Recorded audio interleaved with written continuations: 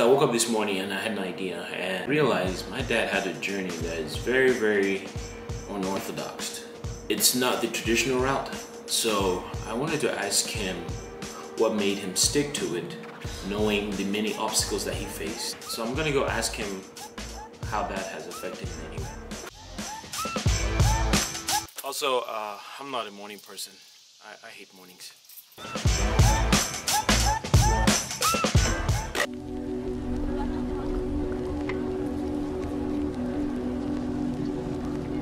What is that doing? That's the camera. To cam- Yeah. camera you while you're driving. Now we're talking right now. So it's getting everybody's. Uh, It's getting me and you. okay. Yeah. What do we do first? I don't know. What, what are we doing? Let, us grab something to eat. Okay. Uh, you want to get rid of that? Let's Yeah. not say what it is, but we're going to get rid of that. But you know what this is. yeah, but we don't want them to know.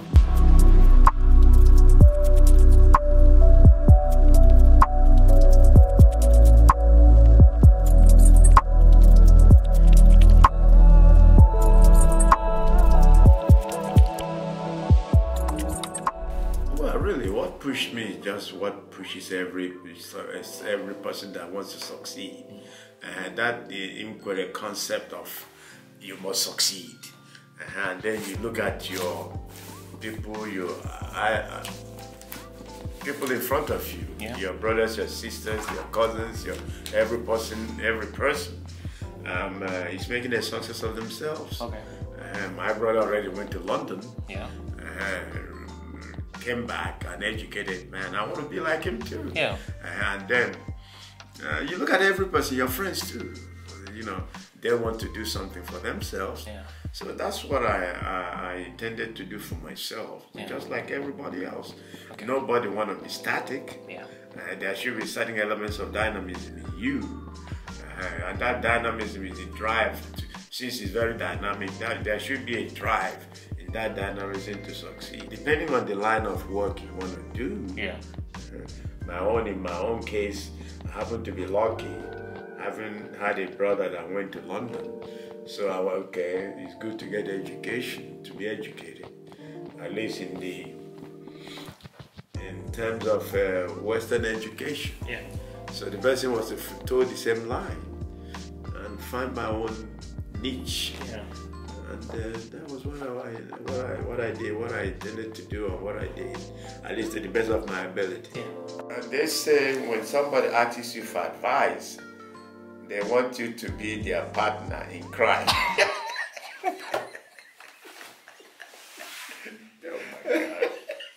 Who said that? Who said that? Give me his name or her name. Let them find something that they really like doing, in my opinion, and uh, keep at it.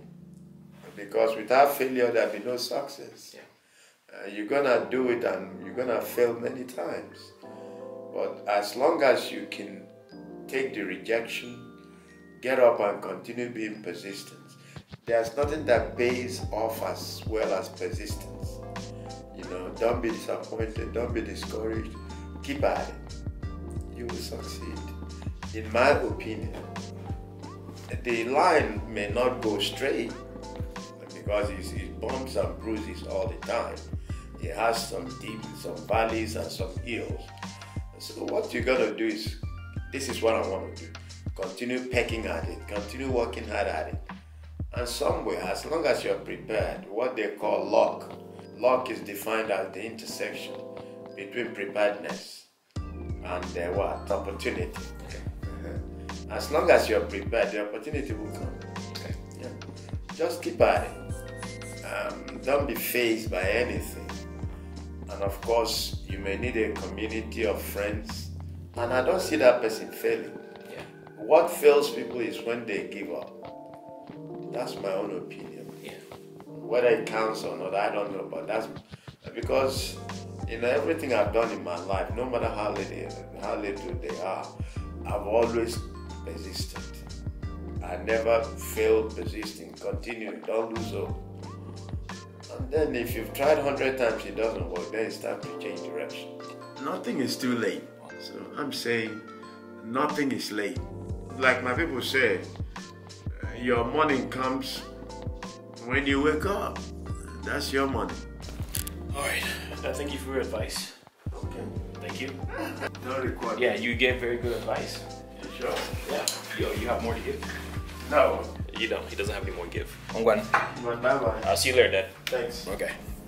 All right, let's get out of here. All right, so um, I hope you guys enjoyed that video. Um, I'm trying to make it just get straight to the point. So if you like the video, like, comment, all that good stuff, and I will see you guys. Uh, let me adjust this here, and I'll see you guys next time. I got a long drive ahead of me. So goodbye.